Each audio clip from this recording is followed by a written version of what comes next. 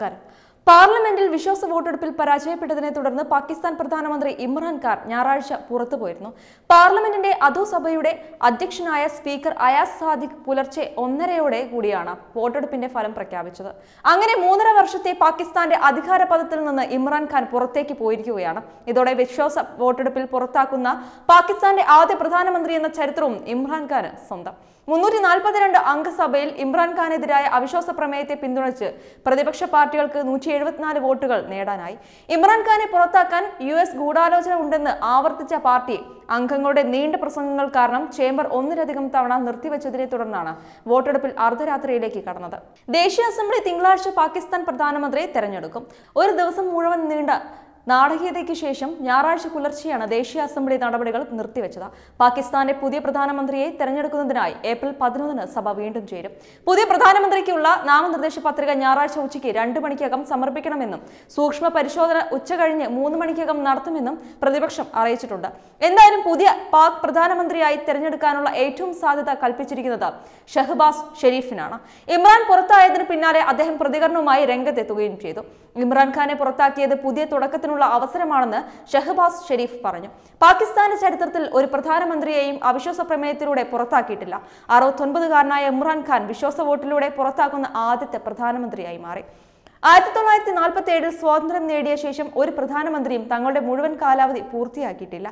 അതുകൊണ്ട് തന്നെ ഇമ്രാന്റെ പുറത്താകൽ രാഷ്ട്രീയ അസ്ഥിരതയുടെ ഒരു റെക്കോർഡ് കൂടി നിലനിർത്തി.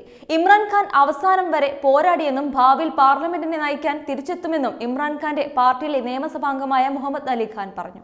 അവസാന പന്ത് വരെ കളി തുടരുമെന്ന് പ്രഖ്യാപിച്ച ഇമ്രാൻ നാടകീയമായ നീക്കങ്ങൾക്കൊടുവിലാണ് പ്രധാനമന്ത്രി പദവിയിൽ നിന്നും പുറത്താകുന്നത്.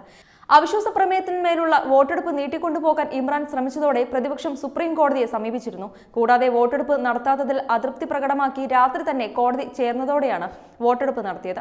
വോട്ടെടുപ്പിൽ നിന്ന് ഭരണകക്ഷി അംഗങ്ങൾ വിട്ടുനിന്നു. സ്പീക്കർ അസദ് കൈസറും ഡെപ്യൂട്ടി സ്പീക്കർ ഗാസിം സൂരിയും രാജിവെച്ചിരുന്നു. തുടർന്ന് മുതിർന്ന അംഗം അയാസ് സാദിഖ് ആണ് നടപടികൾ നിയന്ത്രിച്ചത്. അതേസമയം പുതിയ പ്രധാനമന്ത്രി അടുത്ത ദിവസം തന്നെ ഔദ്യോഗികമായി പ്രഖ്യാപിക്കും. നവാസ് ഷെരീഫിന്റെ സഹോദരൻ ഷഹബാസ് ഷെരീഫ് പ്രധാനമന്ത്രിയായേക്കുമെന്നാണ് പുറത്തുവരുന്ന റിപ്പോർട്ടുകൾ. കൂടാതെ ഇമ്രാനെതിരായ അവിശ്വാസ പ്രമേയം പാസ്സായതിലെ ഔദ്യോഗിക പ്രഖ്യാപനം ഇന്നുണ്ടാകും.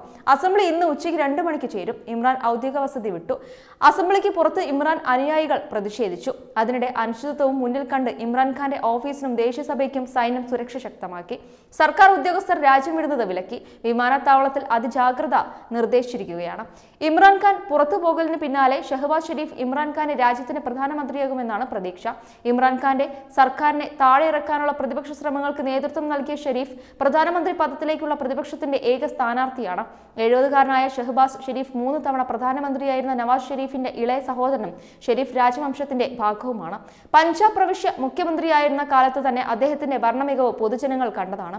പാകിസ്ഥാനിലെ ഏറ്റവും ജനസാന്ദ്രതയുള്ള പ്രവിശ്യയായ പഞ്ചാബിന്റെ മുഖ്യമന്ത്രി എന്ന നിലയിൽ ഷെഹബാസ് ഷെരീഫ് നിരവധി അടിസ്ഥാന സൗകര്യ വികസന പദ്ധതികൾ ആസൂത്രണം ചെയ്യുകയും നടപ്പിലാക്കുകയും ചെയ്തിട്ടുണ്ട്. തന്റെ സഹോദരനിൽ നിന്ന് വ്യത്യസ്തമായ ഷെഹബാസ് ഷെരീഫ് പാകിസ്ഥാനിലെ സൈന്യവുമായും സൗഹാർദ്ദപരമായ ബന്ധം പുലർത്തിയിരുന്നതായും പറയപ്പെടുന്നു.